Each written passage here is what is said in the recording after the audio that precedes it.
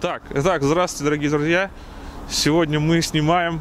Я уже, у меня уже мозги от холода плохо работают. Реально везде задувает. И сейчас заехали в дома, чтобы хотя бы не было бокового ветра. Недавно снимали Каен. И, естественно, у нас сегодня на тесте Infiniti Q50.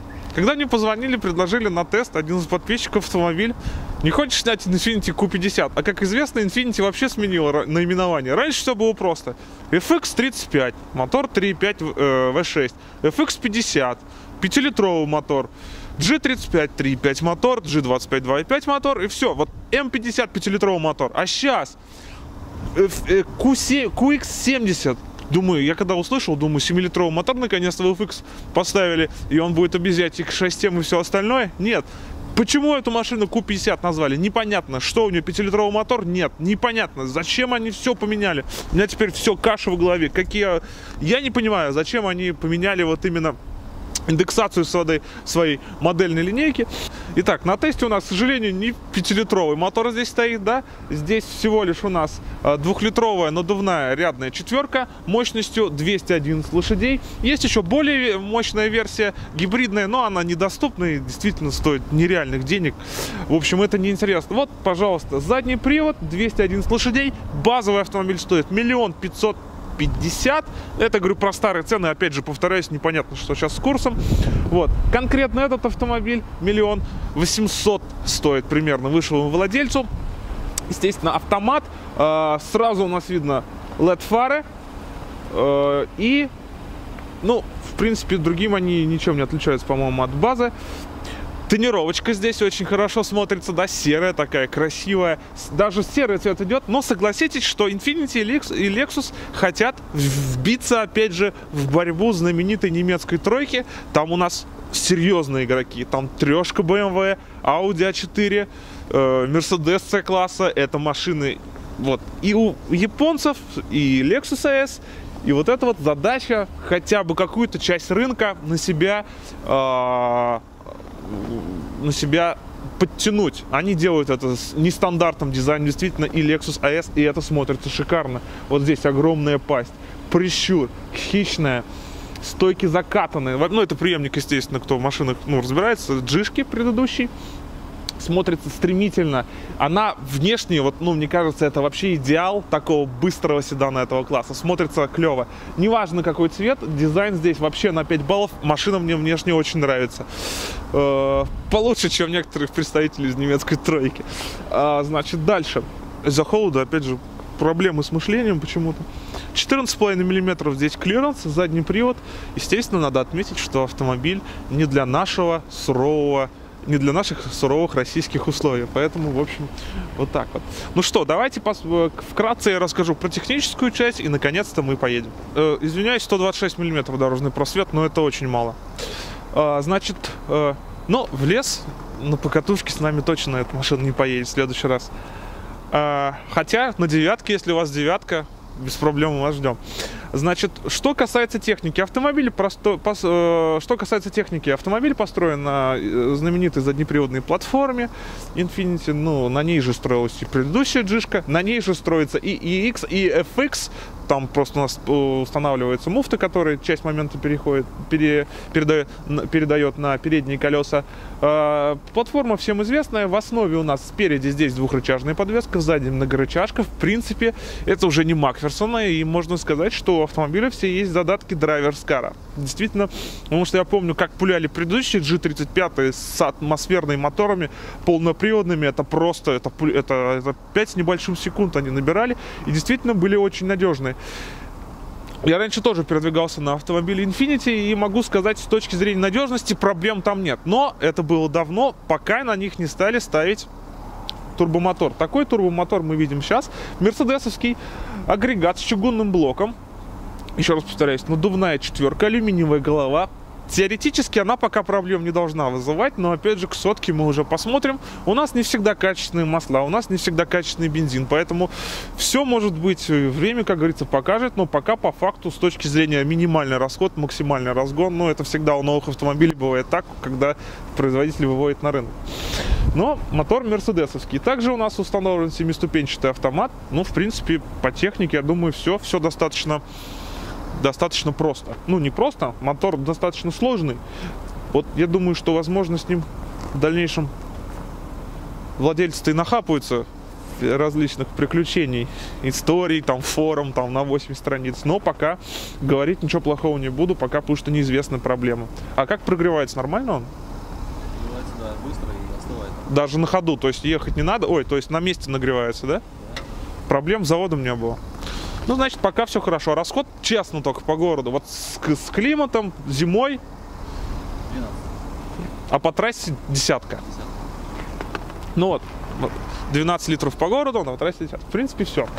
Давайте закроем. Ну, вот честно могу сказать, Infinity, они красивые. Ну вот смотришь вот этот вот значок, ну вот сто процентов видно, что вот клевая тачка. Вот дизайн мне нравится. Вроде кажется, Infinity серый цвет не подойдет, но вот смотрите, как все лаконично смотрится. Кстати, хром на сером смотрится, сочетается более лаконично, мне кажется, чем на черном. Он как-то не, не выпирает и вроде как-то лаконично подчеркивает цвет и стиль. Вот в этом цвете, мне кажется, кушка, раньше я назвал джишки, кушка смотрится шикарно. Мне нравится. Так, а здесь интересно есть камеры по кругу, нет? Нет? Раньше вот в FX, вот по крайней мере, вот здесь были кам- камеры, Там 4 камеры. и она по кругу на, на, на зеркалах, и здесь все показывает, да? Итак, ну, сейчас пройдемся вокруг машины, посмотрим. Э, ну что, хороший японский премиум, замечательно все собрано. Двери тяжелые, закрываются таким приятным звуком. Очень тяжелая дверь, как будто, вот знаете, когда на приоре там кладут килограмму шумки. Интересное с точки зрения дизайна решение. На большой угол, надо обратить внимание на широкий угол. Э, открываются двери. Так что собрано действительно все хорошо. Ощущается качество. Ну, машина, конечно, не дешевая, надо признать. В максималках под 2 миллиона практически, но тем не менее. Тонировать, конечно, нельзя. Ну, это неправильно, это не по закону. Но как они, сука, красиво смотрятся тонированные, да? Классно. Любой цвет приобретает такой прям настоящий дизайнерский подход с тонировкой. Ладно, давайте в салон что-то это вот уже. Наконец-то можно снять шапку. Ключ упал. Ключ упал. Подожди, спасибо. Здесь есть до- доводчик ключа до водителя, если вы его уроните. Это особая опция. А, э, По форме ключи не изменились. Такой же овальный брелочек. Но, опять же, насадимся. Везде все по максимуму кожей перетянули, строчка, ну чтоб ощущение было премиума, белая строчка, э, салон такой весь, ну в черном на черном мне кажется смотрится скучновато, вот здесь бы не хватало какой-нибудь вот вставки из другой кожи, чтобы как-то салон небольшой, да, надо отметить, что автомобили этой серии никогда не отличаются пространством, но тем не менее я себя скованным не чувствую. Мой рост метр девяносто два. А, У нас механическая регулировка спинки с рычагов. Так. э, По высоте мы тоже. Но механические настройки сидения. Хотя за 1.8 можно было бы уже, конечно же, воткнуть электропривод. Вот эта вот часть очень мне напоминает FX, расположение дефлекторов, очень сильно похоже, вот э, форма бардачка, все как на FX. То есть, когда я еще э, в прошлом году или в позапрошлом году делал обзор в Женеве на этот автомобиль, я сразу же это подметил. А в остальном рычаг, все по фирменному сделано. Давайте сейчас я заведу мотор, и мы посмотрим поближе. Итак, сейчас будет волшебство. Э, Мы сейчас будем заводить машину, тут всякое там появится. Ну, мне так кажется, хотя не знаю. Так, держи вот приборы вот так. Экран. Ах, тут смотрите, пошла. Infinity. А тут что. А, вот тут загорелось. Тут загорелось. Infinity Touch. То есть, ну, на основе, естественно. Так. 10,6. Ну, смотрите, вот 10,6 расход. Сразу, ну, понятно, что где. Во-первых, непонятно, вот эти два дисплея можно было стилистически, мне кажется, объединить в один. Ну, это так, на мое. Как-то вот тут, тут один навигатор, здесь у нас антирадар, второй навигатор. Но могу сказать, что действительно приборы в фирменных таких синих э, колодцах, тахометр, спидометр здесь все видно, расход топлива очевиден, 10,6. Так, здесь у нас расход топлива. по компасу положение автомобиля, что очень для внедорожная тема, конечно, на самом деле. Контроль шасси, зачем он нужен, не понимаю. Нет предупреждений. Все, в принципе, запас хода, средняя скорость. Ну, в общем, понятно. А, так, здесь у нас, ну, не быстро работает, подтормаживает. Ну, вот, по сравнению, конечно, с телефонами, чуть тормозит. Но здесь все очевидно. Телефон, информация, настройки, автомобиль. Ну, здесь можно все прекрасно, видите, все по-русскому. Здесь написано. Вот, Bluetooth, почта, телефон, экран. Ну, в общем, стандартный набор. Обратите внимание, у нас навигация полноценная, причем некоторые автомобили не показывают тот адрес, где мы снимаем. Сейчас прям конкретно показывают. Обновляется, наверное, на часто. Э, так, здесь у нас по бокам, естественно. Так, а как управлять? А, климат мы можем, вот вы, вот обратить внимание, климат. Здесь мы можем распределять потоки. Все видно. Так, далее э, подогрев э, лобового стекла, подогрев заднего стекла. Э, принципе, ну, вот в отличие от Каена, машина не перегружена кнопками. Здесь, в принципе, все сделано лаконично, легко все понять. Подогрев сидений, все это понятно. Селектор D, ручной режим, плюс-минус. Ну, это джойстик управления навигацией, как мы видим вот здесь вот. А вот вы как по Волге-то. Так, далее, значит, э, Drive Mode, в принципе, меняет так, настройки шасси, отлично, отличная прорисовка, отличная мультимедиа, все очень красиво сделано. Это снег. То есть это в основном влияет на настройки э, педали газа, работу автомата, в принципе, как и в стандарте, но красиво все прорисовано. Можно, конечно, вручную менять, то есть если мы зайдем в меню Infinity Drive, и здесь все можно, опять же, двигатель, коробка передач, мы можем уже под себя настроить. Вот. Ну, что можно сказать? Действительно хороший, хорошо все сделано. Вот руль я бы обшил более, конечно, дорогой кожей. Вот, а так не придраться. Вот трогал вот эту часть вот сейчас на Каене. Ну вот вы, может быть, раньше или поздно увидите. Вот она скрипела. Здесь не скрипит. Там она скрипела. Качество сборки здесь хорошее. Че, попробуем назад сесть? Итак, э, немножечко опустил стекло, чтобы было лучше видно. Ну, э, э, стандартные, кстати, места крепления детских сидений Isofix. Подлокотник с подстаканниками. Задний дефлектор, опять же, расположено очень удобно. Всегда задние пассажиры не будут мерзнуть теперь. Все хорошо. Все. Ну вот, сам за собой сижу, вроде бы машина. Место есть, коленками я не упираюсь. Места над головой хватает. И сказать, что сзади тесно, вот я не могу. Действительно, место есть. В отличие, по крайней мере, от предыдущего АЭСа, там места вообще нет. Вот здесь она большая машина для задних пассажиров уж точно. Что, багажник будем или не надо нам багажник снимать? Давай, ладно, покажем багажник. Итак, багажник открывается либо с кнопки, либо с салона. Попробуем открыть ее с кнопки, с брелка.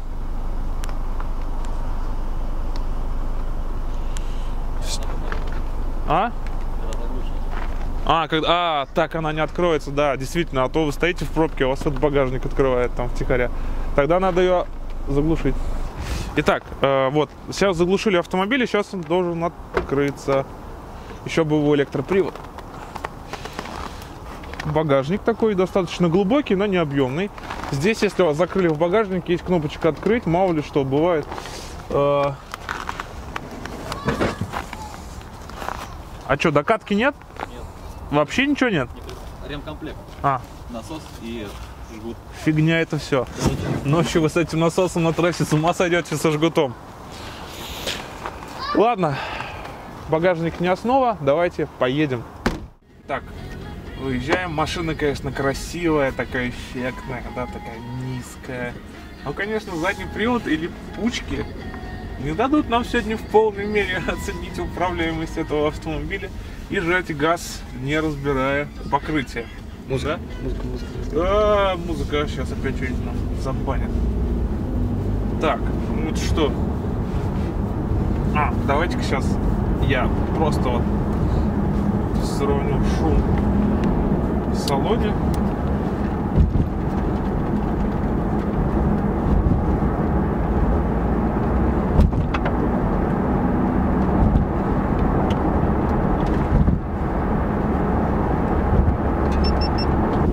Едем, едем, едем, едем, едем.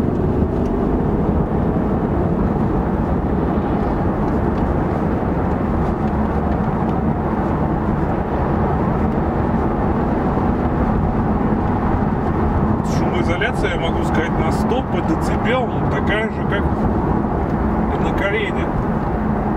Что-то странно. А, ну хотя на Корене была шипованная резина, а здесь а, липучки, поэтому она, да, да, да, там здесь у нас не шипы.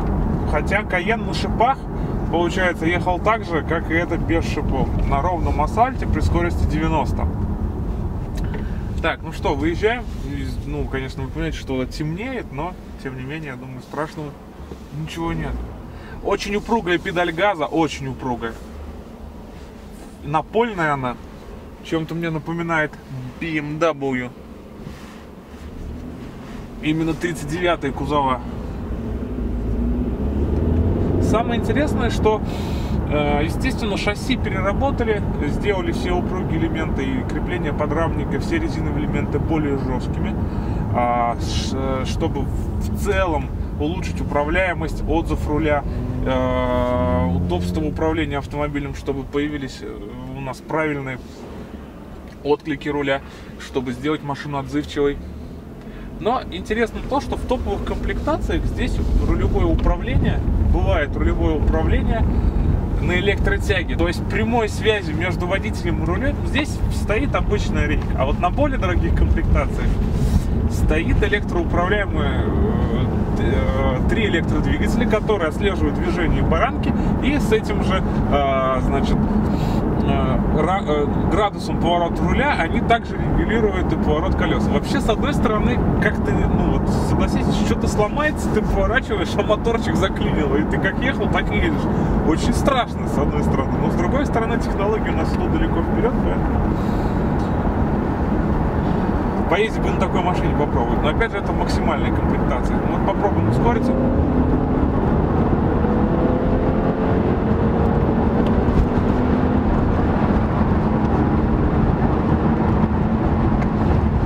Вот если капот открыт, он показал бы, да? Вроде нормально закрыл, да? Все время страх, что я испытываю машину, а говорю про техническую часть, а потом, оказывается, вдруг вот капот откроется. Это же лобовуха, крыша, капот, ужасно. Так, давайте попробуем кольцо пройти. Ну, мы ни в коем случае не будем включать систему стабилизации. Очень хорошо, уверенно, задний привод, прям липучка цепляется по- э, по- за сухой асфальт, идеально. Ну, задний привод все-таки хорошая вещь. На сухом покрытии прям вспоминаешь лето, радуешься. Мотор слышно, слышно в салоне. Так, стоп, стоп, стоп, собачка. Ой, собаку переехали, сволочь.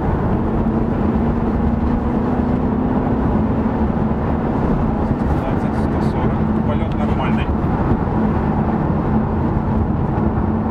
Ну вот 140 машина едет по плохой дороге, шум ветра мы не слышим. Если были шипы, было бы шумнее, как я уже показал наш прибор. Сейчас уровень хороший. Мы не подруливаем, обратите внимание, автомобиль едет очень плотненько, собрано. И хотел бы ответить, очень нейтральное положение, то есть она не дернутая машина, да, то есть не очень э, резкий руль. И тем не менее, на прямых такую солидную она устойчивость сохраняет этот автомобиль, что мне нравится. Да, вот тормоза хорошие, тормоза хорошие. Тут вот, о, опять же, сравниваю с Каеном, отклик неплохой на педаль тормоза. Вот в первые 10-15%, грубо говоря, прогибы педалей, здесь положение 7 фиксаций есть. И действительно очень удобно дозировать. Хотя вот к этим тормозам, тогда я, когда я тестировал Каен, я признался, что все-таки, может быть, я не привык к этим тормозам, я привык сразу же и моментальней. Попробуем выехать. Ну, неплохо, неплохо. Ну вот, э, еду руль, вот руль бы я перешил. Хочется, чтобы он был потолще из более дорогой кожи. Вот из таких мелочи вроде, а как-то вот давит. Вот перешить хорошей кожей руль было бы вообще замечательно. Просто идеально. Ну давай, X, что ты можешь? 3 литра. О, с места хорошо он пульнет, трехлитровый. Но вот ходом мертвяки не едут они нормально. Потому что потеря на полном приводе, еще дизель не едет, еще вот давай, давай, давай, давай, правильно делаешь, уступаешь. Едем по прямой. Минимум вибраций на руле. Сейчас будет ужасная дорога. Крейсерская скорость у нас почти 140. Отлично. Мягко даже, реально мягко. Вот. Вот эти неровности машина хорошо отыгрывает. Так, я бы, конечно, здесь в идеале добавил лепестки на переключение на руль. Попробуем спорт режим. К сожалению, мне обозначение передачи загораживает GoPro. -шка. О, хорош он. О, подожди, очень мне понравилась реакция э, руля. Он легкий, когда вот надо. Вот в повороте он очень легкий. Вот. Но мотору не хватает момента на низах, конечно. Ничего здесь не сделаешь, когда нужно повышенную переключить. Так, мы едем. Сейчас попробуем спорт режим под спорт. Автомат, в принципе, должен держать передачу.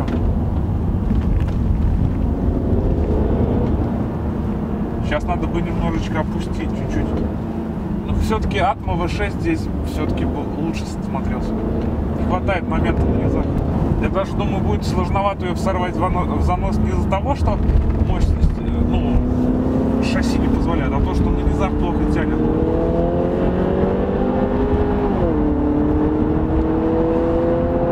Автомат немного э, не очень быстрый. То есть он переключает задержками. Опять уступай дорогу. Такой на верхах, такой, знаете, э, не хватает мощности, но я делаю все, что я могу. Ну а шасси очень клевое. Управление действительно чувствуется, что работали. Шасси очень клевое. Мне очень понравилось. Очень обратная связь на руле. Все вот есть. Тормоза шикарные. Подвеска. Но мотора не хватает, на мой взгляд. Не то, что не хватает. В принципе, его, может быть, он покажет сейчас хороший показатель даста, что мы сейчас и проверим. Но, тем не менее, момента не хватает. Все-таки сюда бы как лошадей 300 плюс, как был Atmo V6.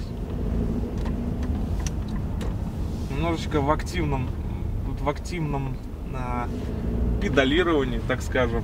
Зачем я туда смотрю, эта камера не работает, непонятно. Не хватает момента мотора все-таки.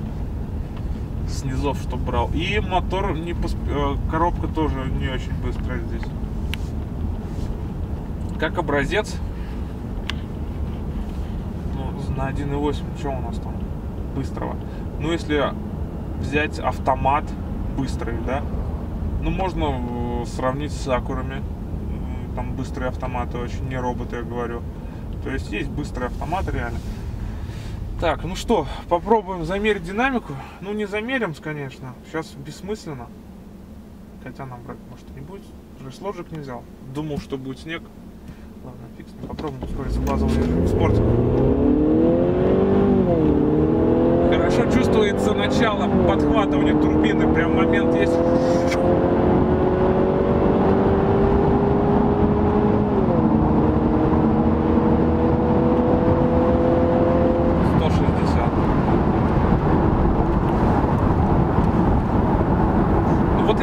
говорил, по факту вот с места он ускорится, ему хватит динамики, чтобы показать результат. Но там, где нужно немножечко на низах вытянуть, немножечко не хватает.